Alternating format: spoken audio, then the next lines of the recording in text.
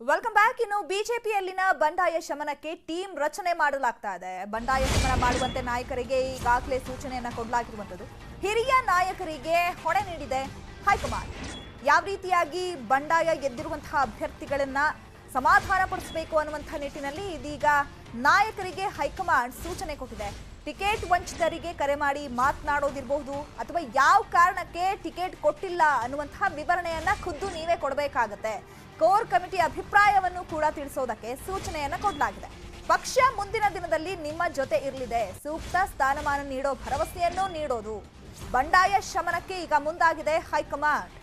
ಈಗ ನೂರ ಎಂಬತ್ತೊಂಬತ್ತು ಅಭ್ಯರ್ಥಿಗಳನ್ನ ಘೋಷಣೆ ಮಾಡಿದೆ ನೂರ ಎಂಬತ್ತೊಂಬತ್ತು ಕ್ಷೇತ್ರಗಳಿಗೆ. ಅದರ ಬೆನ್ನಲ್ಲೇ ಇದೀಗ ಇಪ್ಪತ್ತೈದಕ್ಕೂ ಹೆಚ್ಚು ಅಭ್ಯರ್ಥಿಗಳು ಬಂಡಾಯ ಎದ್ದಿದ್ದಾರೆ. ಅವರ ಶಮನಕ್ಕೆ ಈಗ ಹೈಕಮಾಂಡ್ ಮುಂದಾಗಿರುವಂತದ್ದು ಖುದ್ದು ನೀವೇ ಅವ್ರ ಜೊತೆ ಮಾತುಕತೆಯನ್ನ ನಡೆಸಬೇಕಾಗತ್ತೆ. ಯಾವ ಕಾರಣಕ್ಕೆ ಟಿಕೆಟ್ ಮಿಸ್ ಆಗಿದೆ? ಏನೆಲ್ಲ ಮಾನದಂಡಗಳನ್ನ ಇಲ್ಲಿ ಅನುಸರಿಸಲಾಗಿದೆ?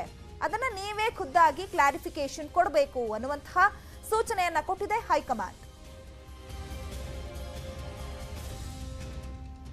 ಪ್ರಮುಖವಾಗಿ ನೋಡಿ, ಆ ಲಿಸ್ಟ್ ಅಲ್ಲಿ ಬರೋದು ಲಕ್ಷ್ಮಣ ಸವದಿ, ಅಥಣಿ ಕ್ಷೇತ್ರದಿಂದ ಟಿಕೆಟ್ ನಿರೀಕ್ಷಿತೆ ಅಂತ ನಿರೀಕ್ಷೆ ಇಟ್ಕೊಂಡಿದ್ರು, ಸಿಗಲಿಲ್ಲ. ಇನ್ನೊಂದು ಕಡೆ ಗೂಳಿಹಟ್ಟಿ ಶೇಖರ್ ಆಲ್ರೆಡಿ ಜನಾರ್ದನ್ ರೆಡ್ಡಿ ಅವರು ಹೆಂಗಾದ್ರೂ ಮಾಡಿ ಅವ್ರ ಪಕ್ಷಕ್ಕೆ ಸೆಳಿಬೇಕು ಅನ್ನೋ ಪ್ರಯತ್ನಗಳನ್ನ ಮಾಡ್ತಾ ಇದ್ದಾರೆ. ರಘುಪತಿ ಪಟ್ ಜಾತಿಯಿಂದಾಗಿ ನನಗೆ ಮಿಸ್ ಆಗಿದೆ ಅಂತ ಹೇಳ್ತಾ ಇದ್ದಾರೆ.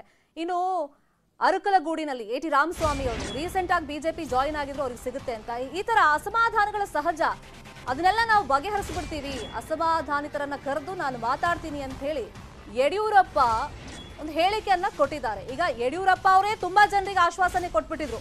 ನೋಡಿ, ನಿಮಗೆ ಟಿಕೆಟ್ ಸಿಗುತ್ತೆ ಅಂತ ಹೇಳಿ ಹೆಗಲ ಮೇಲೆ ಕೈ ಹಾಕಿ ಭರವಸೆ ಕೊಟ್ಟಿದ್ರು. ಆ ಭರವಸೆಯನ್ನ ನಾವು ನಂಬ್ಕೊಂಡಿದ್ವಿ ಅಂತ ತುಂಬಾ ಜನ ಟಿಕೆಟ್ ಮಿಸ್ ಆಗಿದೆಯಲ್ಲ ಅಂತ ಆಕಾಂಕ್ಷಿಗಳು ಹೇಳ್ತಾ ಇದ್ದಾರೆ. ಈಗ ನಾನು ಸಮಾಧಾನ ಮಾಡ್ತೀನಿ ಅಂತ ಹೇಳಿದ್ದಾರೆ. ಅಫ್ಕೋರ್ಸ್ ಇದರಲ್ಲಿ ಹೈಕಮಾಂಡ್ ಕೂಡ ಒಂದು ಆದೇಶವನ್ನ ಯಡಿಯೂರಪ್ಪ ಅವರಿಗೆ ಕೊಟ್ಟಿರ್ತಾರೆ. ಯಾಕಂದ್ರೆ ಯಡಿಯೂರಪ್ಪ ಇಲ್ಲದೆ ರಾಜ್ಯ ಬಿಜೆಪಿ ಇಲ್ಲ ಅನ್ನೋದು ಹೈಕಮಾಂಡ್ ನಾಯಕರಿಗೂ ಗೊತ್ತಿದೆ. ಬಹುತೇಕ ಅವರು ರೆಫರ್ ಮಾಡಿದಂತ ಅಭ್ಯರ್ಥಿಗಳಿಗೆ ಮಣೆ ಹಾಕಿದ್ದಾರೆ. ಎಲ್ಲ ಸರಿಯಾಗುತ್ತೆ ಅಂತ ಯಡಿಯೂರಪ್ಪ ಹೇಳಿದ್ದಾರೆ. ಇದೇ ವಿಚಾರವಾಗಿ ಇನ್ನಷ್ಟು ಡೀಟೇಲ್ ಆಗಿ ಇನ್ಫಾರ್ಮೇಶನ್ ಕೊಡೋದಕ್ಕೆ ನೇರ ಸಂಪರ್ಕದಲ್ಲಿ ಜಾಯ್ನ್ ಆಗಿದ್ದಾರೆ ನಮ್ಮ political bureau reporter Krishna. Krishna, ಎಷ್ಟೋ ಜನರಿಗೆ ಒಂದು ಭರವಸೆಯನ್ನ ಕೊಟ್ಟಿದ್ದು ಇದೇ ಯಡಿಯೂರಪ್ಪನವರು, ನಿಮಗೆ ನಾನು ಟಿಕೆಟ್ ಅನ್ನ ಕೊಡಿಸ್ತೀನಿ ಅಂತ. ಅದರಂತೆ ಪ್ರಯತ್ನಗಳನ್ನೇನೋ ಮಾಡಿದ್ದಾರೆ, ಆದರೆ ಲಾಸ್ಟ್ ಮಿನಿಟ್ ಅಲ್ಲಿ ಕೆಲವೊಂದು ಬದಲಾವಣೆಯಿಂದ ಟಿಕೆಟ್ ಮಿಸ್ ಆಗಿರಬಹುದು ಈಗ ಹೈಕಮಾಂಡ್ ಅಫ್ಕೋರ್ಸ್ ಯಡಿಯೂರಪ್ಪನವರಿಗೆ ಜವಾಬ್ದಾರಿ ಕೊಟ್ಟಿರಬಹುದು. ಈಗ ಯಡಿಯೂರಪ್ಪ ಮಾತನ್ನ ಕೇಳೋ ಸ್ಥಿತಿಯಲ್ಲಿ ರೆಬಲ್ಸ್ಗಳು ಇದಾರಾ?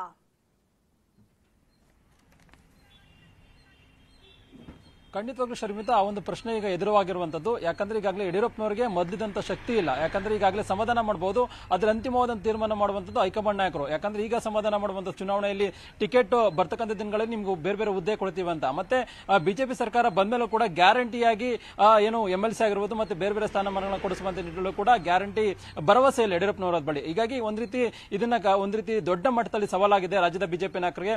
ಒಂದ್ ಕಡೆಗೆ ಪ್ರಮುಖವಾದ ನಾಯಕರನ್ನ ಸಮಾಧಾನ ಪಡಿಸುವಂತ ಕೆಲಸವನ್ನ ಹೈಕಮಾಂಡ್ ಮತ್ತೆ ರಾಜ್ಯ ಮಟ್ಟದಲ್ಲಿ ಮಾಡ್ತಾ ಇದ್ದಾರೆ. ಜಗದೀಶ್ ಶೆಟ್ಟರ್ ಅವರು ಪ್ರಮುಖವಾಗಿ ಅವರಿಗೆ ಟಿಕೆಟ್ ಟಿಕೆಟ್ ಅನ್ನ ಕೊಡಿಸಬೇಕು ಅನ್ನೋದ್ರ ಬಗ್ಗೆ ಕೂಡ ಯಡಿಯೂರಪ್ಪನವರು ಕೂಡ ಮನವಿಯನ್ನು ಮಾಡಿದ್ದಾರೆ. ಮತ್ತೆ ಹೈಕಮಾಂಡ್ ನಾಯಕರು ಕೂಡ ಅದ್ರ ಬಗ್ಗೆ ಚರ್ಚೆ ಕೂಡ ಮಾಡ್ತಾ ಇದ್ದಾರೆ. ಆದರೆ ಲಕ್ಷ್ಮಣ್ ಸವದಿ ಅವರ ವಿಚಾರವಾಗಿ ಒಂದು ರೀತಿ ಅವ್ರನ್ನ ಬೇಡು ಬಿಟ್ಟಂಗೆ ಬಿಟ್ಬಿಟ್ಟಿದ್ದಾರೆ. ಯಾಕಂದ್ರೆ ಲಕ್ಷ್ಮಣ್ ಸವದಿ ಅವರು ಈಗಾಗಲೇ ಲಕ್ಷ್ಮಣ್ ಸವದಿ ಅವರಿಗೆ ಪಕ್ಷದಿಂದ ಎಲ್ಲವೂ ಸ್ಥಾನಮಾನವನ್ನು ಕೊಡಲಾಗಿದೆ.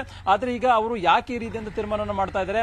ಅವರೇ ಇದ್ರ ಬಗ್ಗೆ ಯೋಚನೆಯನ್ನ ಮಾಡಬೇಕಾಗತ್ತೆ ಅನ್ನೋ ಒಂದು ಪರೋಕ್ಷವಾದ ಸಂದೇಶವನ್ನು ಕೊಡೋದ್ರ ಮುಖಾಂತರವಾಗಿ ಅವರ ತೀರ್ಮಾನವನ್ನು ಅವ್ರ ಬೇಕಾದ್ರೆ ಏನ್ ಬೇಕಾದ್ರೆ ಮಾಡ್ಕೊಳ್ಳಿ ಅನ್ನೋದ್ರ ಬಗ್ಗೆ ಬಿಟ್ಬಿಟ್ಟಿದ್ದಾರೆ. ಮತ್ತೆ ಈಗಾಗಲೇ ಆರ್ ಶಂಕರ್ ಅವರು ಕೂಡ ಎಂ ಆಗಿದ್ದಾರೆ. ಅವರಿಗೆ ಟಿಕೆಟ್ ಅನ್ನ ಆಕಾಂಕ್ಷಿ ಆಗಿದ್ರು, ಈಗ ರಾಣಿಬೆನ್ನೂರಿಂದ ಟಿಕೆಟ್ ಮಿಸ್ ಆಗಿದೆ, ಮತ್ತೆ ಅವರು ಕೂಡ ಬೇರೆ ರೀತಿಯಿಂದ ನಿರ್ಧಾರ ಕೈಗೊಂಡಿದ್ದಾರೆ. ಮತ್ತೆ ನೆಹರು ಓಲೇಕರ್ ಆಗಿರ್ಬೋದು ಮತ್ತೆ ಈಗಾಗಲೇ ಬೇರೆ ಬೇರೆ ನಾಯಕರುಗಳು ಕೂಡ, ಈಗಾಗಲೇ ವಸ್ತುರ್ಗ ಕ್ಷೇತ್ರದಿಂದ ಆಗಿರ್ತಕ್ಕಂಥ ಗೂಳಿಟ್ಟಿ ಗೂಳಿಟಿ ಶೇಖರ್ ಅವರು ಕೂಡ ರೆಬಲ್ ಆಗಿರುವಂತದ್ದು ಹೀಗೆ ಸಣ್ಣ ಪುಟ್ಟ ನಾಯಕರನ್ನ ಅವ್ರು ಬೇನ್ ಬೇಕಾದ್ರು ಮಾಡ್ಕೊಳ್ಳಿ ಅನ್ನೋ ಒಂದು ಸಂದೇಶವನ್ನ ಯಡಿಯೂರಪ್ಪನವರು ಕೊಟ್ಟಿದ್ದಾರೆ. ಯಾವುದೇ ಕಾರಣಕ್ಕೂ ಕೂಡ ಅವ್ರ ಜೊತೆ ಮಾತಾಡುವಂತ ಪ್ರಶ್ನೆ ಇಲ್ಲ ಅನ್ನೋ ಒಂದು ಪರೋಕ್ಷವನ್ನ ಸಂದೇಶವನ್ನ ಕೊಟ್ಟಿದ್ದಾರೆ. ಆದ್ರೆ ಪ್ರಮುಖವಾದಂತಹ ನಾಯಕರಿಂದಾಗಿ ಇಲ್ಲ ಒಂದು ಕಡೆ ಬರ್ತಕ್ಕಂಥ ದಿನಗಳಲ್ಲಿ ಪಕ್ಷಕ್ಕೆ ಹಿನ್ನಡೆ ಆಗುತ್ತೆ ಅನ್ನೋ ಒಂದು ಕಾರಣಕ್ಕೋಸ್ಕರವಾಗಿ ಒಂದಷ್ಟು ಜನ ನಾಯಕರನ್ನ ಸಮಾಧಾನ ಪಡಿಸುವಂತ ನಿಟ್ಟಿನಲ್ಲಿ ಒಂದಷ್ಟು ಪ್ಲಾನ್ ಅನ್ನ ಮಾಡ್ಕೊಂಡಿದ್ದಾರೆ. ಒಂದು ಕಮಿಟಿಯನ್ನು ಕೂಡ ಮಾಡ್ಕೊಂಡಿದ್ದಾರೆ. ಮತ್ತೆ ಮುಖ್ಯಮಂತ್ರಿಗಳು ಯಡಿಯೂರಪ್ಪನವರು ಸೇರಿದಂತೆ ಕೇಂದ್ರದ ಚುನಾವಣಾ ಸಮಿತಿ ಉಸ್ತುವಾರಿಗಳು ಸೇರಿದಂತೆ ಎಲ್ಲಾ ಜಿಲ್ಲೆಗಳ ಮುಖಂಡರ ಮುಖಾಂತರವಾಗಿ ಸಮಾಧಾನ ಪಡಿಸುವ ಒಂದು ಕೆಲಸವನ್ನು ಮಾಡ್ತಾ ಇದ್ದಾರೆ. ಸಮಾಧಾನ ಪಡಿಸಿದ್ರು ಕೂಡ ಬರ್ತಕ್ಕಂಥ ದಿನಗಳಲ್ಲಿ ಬಿಜೆಪಿ ಸರ್ಕಾರ ಮತ್ತೆ ಅಧಿಕಾರಕ್ಕೆ ಬರುತ್ತೆ ಅನ್ನೋ ಒಂದು ವಿಶ್ವಾಸ ಆ ಒಂದು ಕಾರ್ಯಕರ್ತರ ನಾಯಕರು ಇಲ್ಲ ಯಾಕಂದ್ರೆ ಬಿಜೆಪಿ ಸರ್ಕಾರ ಬರುತ್ತೆ ಬೇರೆ.